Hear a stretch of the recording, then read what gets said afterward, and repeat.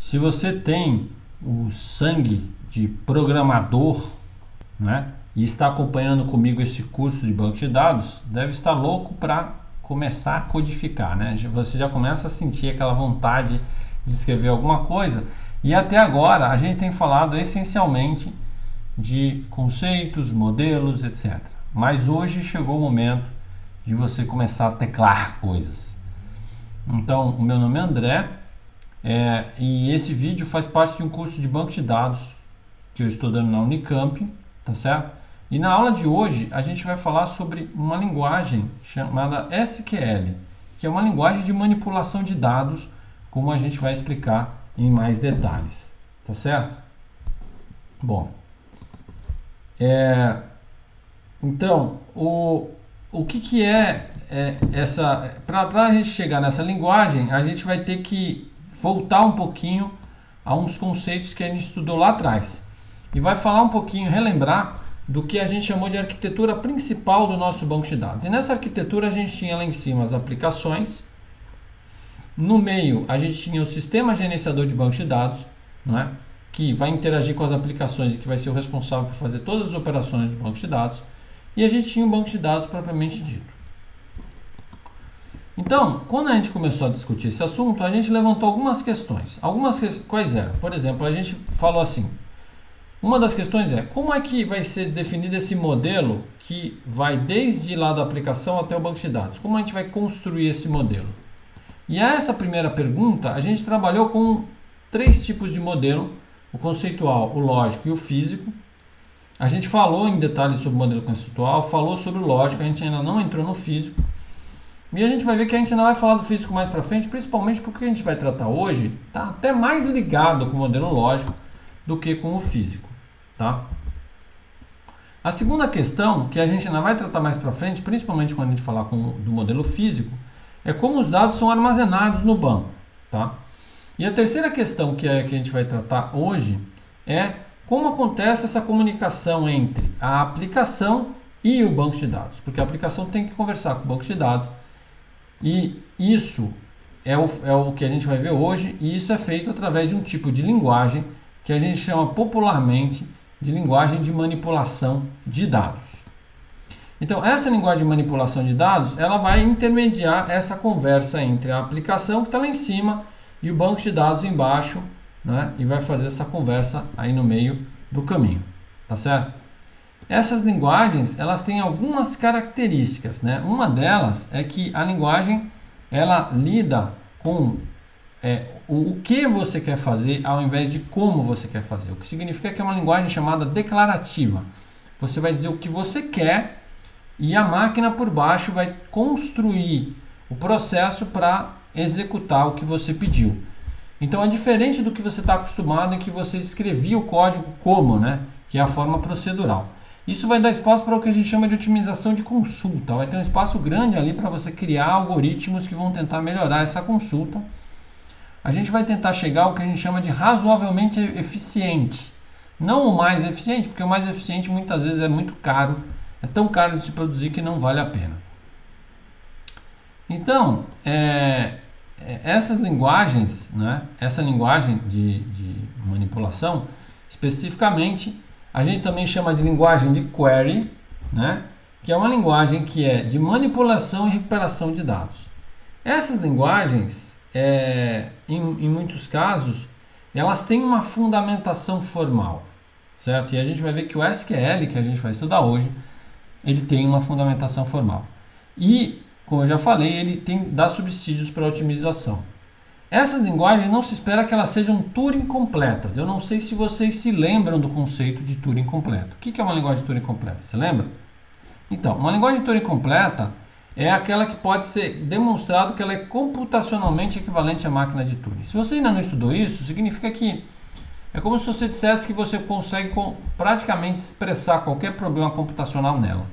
As linguagens de consulta não são assim, porque é, elas são especializadas. Então vão ter coisas para as quais elas não, é, não são feitas. Por exemplo, elas não são pensadas para você fazer cálculos complexos. Elas são feitas para você fazer acessos é, é, simples e eficientes a extensos conjuntos de dados.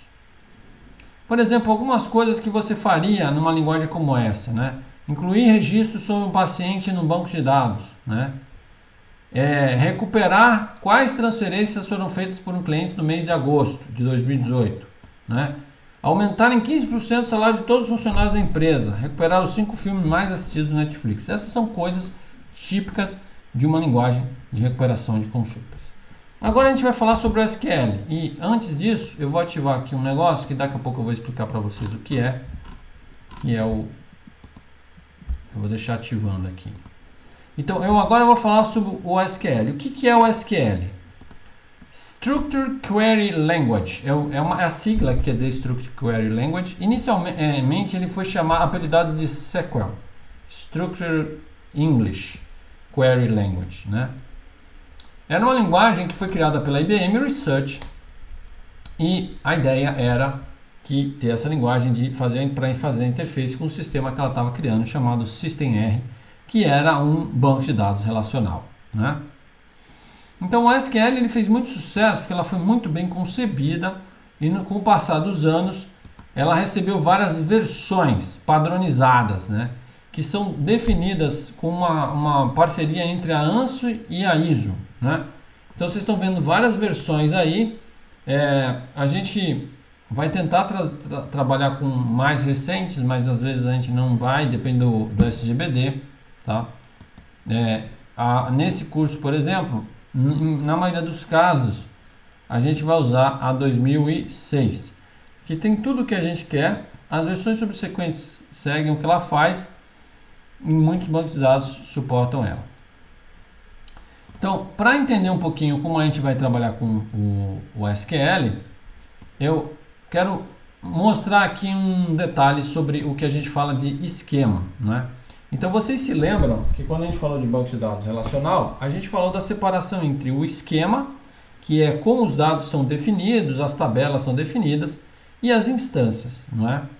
Antigamente, a aplicação é que sabia como os dados eram definidos, armazenados. Então, o esquema ele ficava guardado nas aplicações.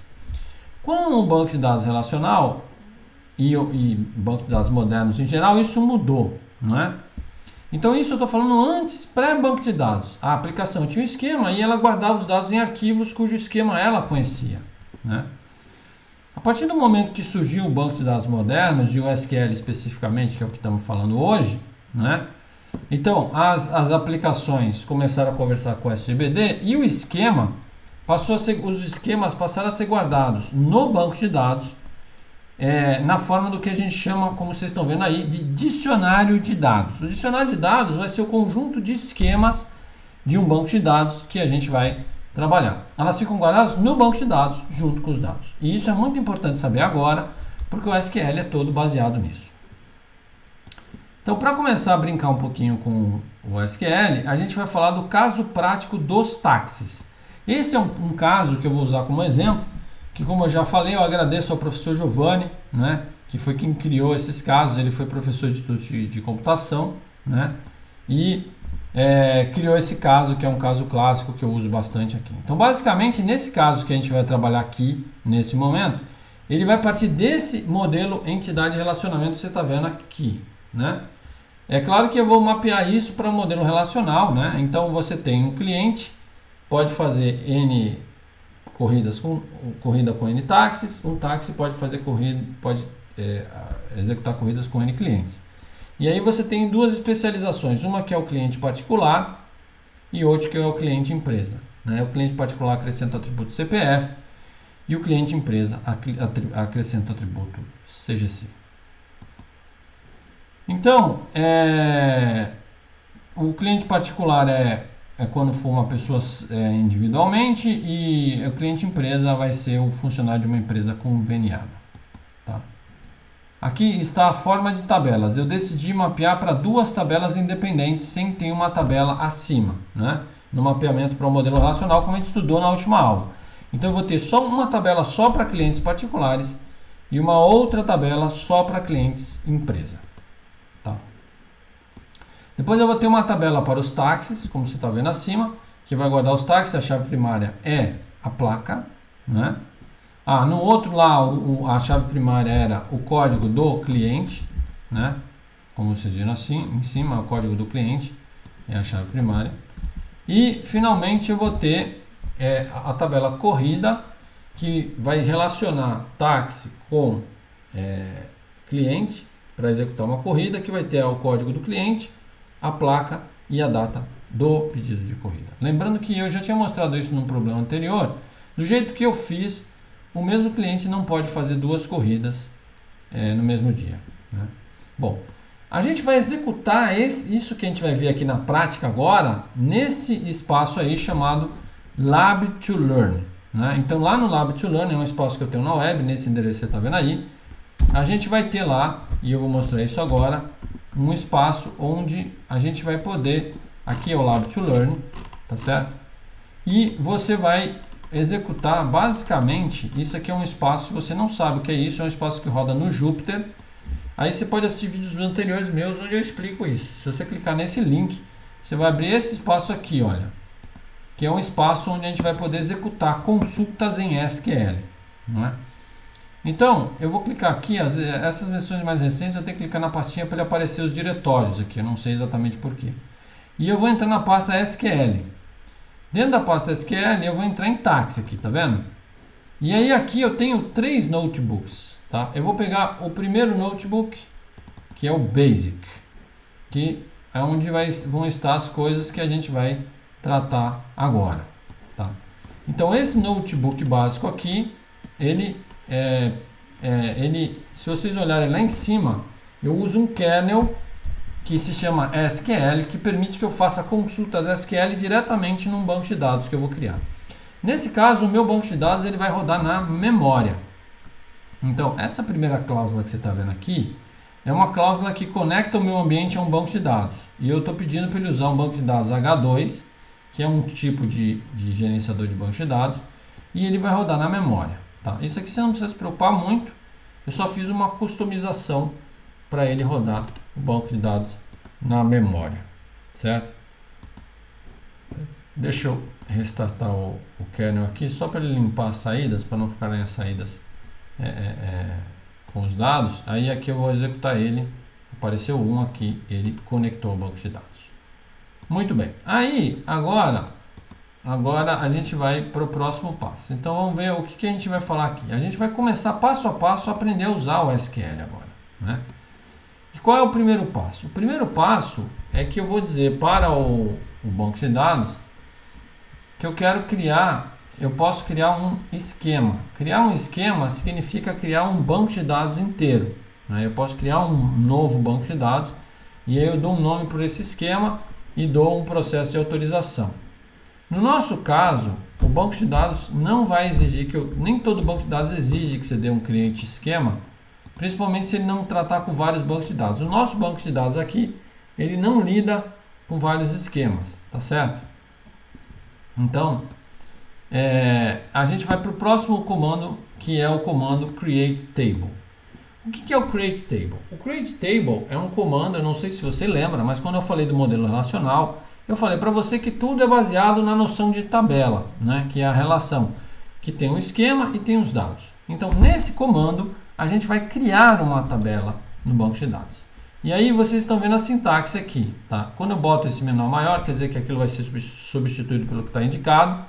E quando eu boto é, colchete, quer dizer que aquilo é opcional. Então, na verdade, você vai dar create table, o nome da tabela. Você vai dizer para cada campo que você quer, vai ter uma linha aqui, por exemplo. Eu vou botar parênteses, né? Eu vou botar campo, o tipo e aí eu posso botar outras coisas. Eu posso dizer se ele aceita nulo, se ele não aceita nulo, se ele vai ter um valor default, se ele tem restrições. No final, eu vou definir quem é a chave primária. Então, é mais fácil entender com um exemplo. Então, nesse exemplo que vocês estão vendo aqui, ele está criando é, a tabela de táxi. Note como é que eu estou fazendo. Eu estou dizendo que tem a placa. Varchar é o equivalente a string que você está acostumado na sua linguagem de programação. É um conjunto de caracteres. Só que no banco de dados se diz o tamanho máximo. Então eu estou dizendo que a placa tem tamanho máximo 7 e não pode ser nula. A marca, tamanho máximo 30. A marca do táxi, não pode ser nulo. Modelo, 30, não pode ser nulo. O ano de fabricação é inteiro e a licença tamanho 9. Aí eu digo que a chave primária é a placa. Tá certo? Então, é assim que eu defino a tabela de tags. Aqui embaixo, seguindo a mesma lógica, eu estou criando a tabela de clientes, tá certo? Com ID, CPF, né? É, ID, nome e CPF. Esse aqui é o cliente particular, tá? É, então, aqui são os tipos de dados que o, que o SQL aceita, né? Então, o varchar é uma string, onde você diz o máximo de caracteres. Depois você pode usar small int para inteiros pequenos, integer, decimal quando você tiver números que tenham casas decimais, certo? Só que casas decimais fixas, certo? Duas casas, três casas. E tem o real, que é equivalente ao número de ponto flutuante é, do, das linguagens de programação. Eu recomendo que quando você dê lide com valores, é, quantidades, salários, essas coisas, valores que você tem casas decimais controladas, é melhor você usar o decimal. Porque número de ponto flutuante às vezes podem ter algumas questões de arredondamento meio complexas e tal. O double precision é um número real de dupla precisão. Você também tem o tipo data é, e hora, ok? Bom, então vamos lá. Vamos ver aqui o que, que a gente vai brincar agora. Então a gente vai começar aqui no nosso ambiente pedindo para ele criar tabelas. É, por enquanto eu vou pedir para você esquecer esse drop table aqui. Daqui a pouco eu vou explicar o que, que ele é. Mas o create table aqui, você pode pular ele inclusive, porque isso aqui é só se você fosse rodar na segunda vez. Então tá aqui, ó, create table taxi, Create Table Cliente. Tem também o Create Table Corrida que eu vou explicar daqui a pouco. Se você der um play aqui, ele então vai criar as tabelas. Ele não vai te dar nenhuma resposta, mas ele criou as tabelas aqui, certo? É, aí você pode criar, então, é, agora a terceira tabela, não sei se você se lembra, era uma tabela que ligava as outras duas, que era a tabela de corrida. E aí, para poder fazer uma tabela que liga as outras duas tabelas, você precisa, além do que você eu já mostrei, ter o que a gente chama de chave estrangeira, que é o que você está vendo aqui em cima, foreign key. A chave estrangeira, é, então você vai indicar quem é chave estrangeira, né? E aí você vai dizer, é, é, é se você vai colocar é, foreign key, as colunas que você vai usar como chave estrangeira, references, a tabela e as colunas da tabela que você quer referenciar como chave estrangeira, se não for a mesma. Né? Então vamos ver lá no exemplo como é que é. Vamos ver aqui, ó, um exemplo. Aqui, ó, eu estou dizendo que eu tenho a tabela corrida, né? Na minha tabela corrida, é, a chave primária é o ID do cliente, a placa e a data do pedido. E eu tenho uma chave estrangeira, CliID, para a tabela cliente, onde eu acesso o mesmo CliID. E eu tenho uma chave estrangeira, placa, para a tabela táxi, onde a chave lá também vai ser táxi. Então essa é a forma como eu faço chave estrangeira. E aí depois vocês estão vendo aí o on delete, on update. E a gente vai falar sobre isso. Eu não sei se vocês lembram quando eu falei de banco de dados, mas eu falei sobre aquelas restrições de integridade. E é uma delas é a integridade referencial, que quer dizer o seguinte: por exemplo, eu não posso ter uma chave estrangeira apontando para uma chave primária que não existe. Ou eu tenho que tomar cuidado porque se eu tô, tenho uma chave estrangeira apontando para uma chave primária e alguém apaga aquele registro da chave primária, a chave estrangeira fica apontando para o negócio inválido. Então, para evitar essas coisas, o banco de dados relacional, o SQL especificamente, ele estabelece o que fazer quando há alteração ou exclusão da chave, porque é nesses casos que vai ter um problema. Né? Então, on delete e on update é quando aconteceu o delete, quando aconteceu o update. Você pode dar as seguintes opções. No action significa que ele não vai deixar o cara fazer o delete. Por quê? Porque eu tenho, eu sou uma chave estrangeira que está apontando para uma chave primária. Aí o cara está tentando deletar não a mim, o cara está tentando deletar a chave primária que eu aponto. Sempre. Tome cuidado. Essa ação é para a chave primária para quem eu aponto, certo? Se eu der no action, ele não vai deixar apagar. E ponto. Se der cascade, ele, se eu deletar a chave para quem eu aponto, eu deleto a mim mesmo também. Então eu faço uma cascata de ação. Né? Eu deletei a chave para quem eu aponto, eu também sou deletado. Set null quer dizer que se o cara apagar a chave para quem eu aponto, eu viro nulo automaticamente. Certo? E set default é quando você define um valor default para o campo. Eu posso estar apontando para um valor default. Então, quando o cara apagar, apagar a chave primária, eu entro no valor default. Então, vamos ver como é que está aqui. Aqui eu estou fazendo on delete, no action. Então, se o cara tentar deletar, eu não deixo. Se o cara tentar atualizar, eu não deixo. Eu usei no action nos dois casos. Isso quer dizer o quê? Isso quer dizer que o cara não vai conseguir apagar, por exemplo, um cliente para qual eu estou apontando. Ele não vai conseguir. Aí como é que faz se ele precisasse fazer isso? Ele vai ter que apagar todas as corridas daquele cliente para depois apagar o cliente. Ele vai ter que fazer isso do jeito que eu escrevi aqui, tá? Então, agora eu vou deixar uma tarefazinha para você fazer aí e entregar. Tá? Eu quero que você escreva comando, um comando SQL para criar esses dois esquemas aí. Tá certo? E eu, isso aí é para você entregar na, como entrega dessa aula. Aí, agora vamos falar sobre o insert. O que, que é o insert? O insert é um comando que permite que você insira dados no banco de dados, tá certo? Então você vai inserir agora. Eu já criei o esquema, eu já tenho a tabela, agora eu quero inserir dados. Então você vai usar essa sintaxe aí, insert into, você vai dizer quem é a tabela, quais são os campos, isso é opcional, porque se você não se é opcional, ele está considerando que você está inserindo em todos os campos. E aí, values, os valores. Então, eu vou mostrar aqui um exemplo. Olha só, insert into cliente, e aí eu digo os valores, tá vendo? Se eu só der values, ele vai considerar que está na ordem do esquema. Eu estou colocando os valores na ordem do esquema, tá? Então, vocês estão vendo aí, tanto cliente, táxi, corrida, eu estou inserindo valores na ordem que o esquema foi definido. Se eu quiser fazer uma ordem diferente, o que é um caso que eu geralmente não uso, é, eu posso definir antes do values quais são os campos que eu quero dar valores, em que ordem, e aí eu dou o values. Tá? Então, vamos ver isso lá. Aqui no banco de dados, se você chegar aqui, você vai ver que eu tenho, depois dos create tables que eu criei, eu tenho inserts.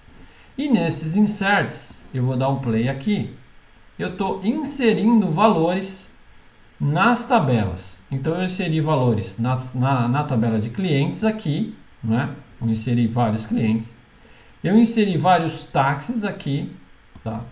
E aqui eu estou inserindo corridas, relacionando clientes e táxis. Então esse aqui, por exemplo, eu estou relacionando o 1775, que é a Doriana, com o DAE 6534, que é esse carro da, da placa fora. Então eu inseri os dados na minha tabela. A minha tabela está como a gente chama populada. Bom, agora é a hora de começar a brincar um pouquinho com os meus dados. Agora é a hora da saracutiara. Né? A gente vai começar a fazer coisas com esses dados, tá? Antes de saracutiar, você vai fazer esse exercício para me entregar, tá certo? Onde você vai fazer um comando insert para inserir coisas naquelas tabelas que você definiu antes, ok? Agora vamos falar sobre o select. Eu vou pedir, inclusive, para esse exercício você entregar na forma de um notebook, tá? Esses exercícios que eu estou passando para vocês, eu queria que vocês fizessem isso como se fosse um notebook. É, então, olha só, agora eu vou fazer um select. Select é o comando que você vai mais usar, é o mais power dos powers comandos. O que, que o select faz? Um monte de coisa. Mas basicamente o select dá acesso aos dados da tabela que você criou, certo? E aí, o select ela tem principalmente três partes. Depois a gente vai ver que tem mais outras, mas as três mais usadas são essas três que você está vendo aí na sua frente. Select, você vai dizer o que, from, que são as tabelas que você quer consultar, e where é uma condição. A gente vai explorar isso em detalhes agora, tá? É, então, vamos lá. A gente pode fazer o seguinte. Não está aqui, mas devia estar. Tá o select asterisco. Então vamos começar com o select asterisco. Então aqui no exemplo tem um select asterisco, tá vendo? Eu vou dar select asterisco, quer dizer, todos os campos, eu não estou fazendo filtro nenhum, from taxi, que é a tabela de táxi. Se eu der um play aqui, ele vai me mostrar uma tabelinha, olha que bonitinha a tabelinha que ele mostra. Não é bonita? É, ele vai me mostrar uma tabelinha aqui, né? com os campos, tá vendo? Ford, Fiesta, tá aqui, na forma de uma tabela. Você pode até brincar com ela, ó, mexer nas colunas, tá vendo? Não é bonito? Não é, não é legal? é legal, é legal.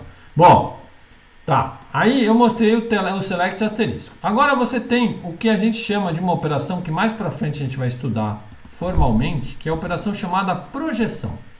Projeção é quando eu quero fazer um recorte é, vertical da tabela. Eu quero recortar colunas, tá? E eu consigo fazer a projeção no select como? Eu dou select, os campos que eu quero, from e a tabela. Então, eu selecionei só marca e modelo. Então, o que, que ele vai fazer? Ele vai recortar só os campos que eu especifiquei. Ele vai recortar só marca e modelo. E vai me entregar uma tabela somente com a marca e com o modelo. Assim. Sendo que existe uma coisa importante no banco de dados relacional, que é que no banco de dados relacional você não... É, ah, isso eu vou falar depois. Okay. Então, vamos lá, vamos ver lá como é que isso funciona no SQL, certo? Então a gente vem aqui para a tabela e a gente vai ver que tem aqui, ó, select marca modelo from tax. Tá vendo? Aí, como tá aí? Então se eu der um play aqui, olha que legal, ele vai mostrar só marca e modelo, né? Facinho, não é não? Bom, aí agora vamos ver é, seleção. Seleção é quando eu faço um recorte horizontal. Eu recorto horizontalmente a tabela. Então, geralmente eu dou select, o que eu quero, from, tabela, where, e aí eu vou estabelecer uma condição. Essa condição vai fazer selecionar as linhas que atendem àquela condição. Por exemplo, eu pedi todos aqueles cujo ano de fabricação é maior do que 2000.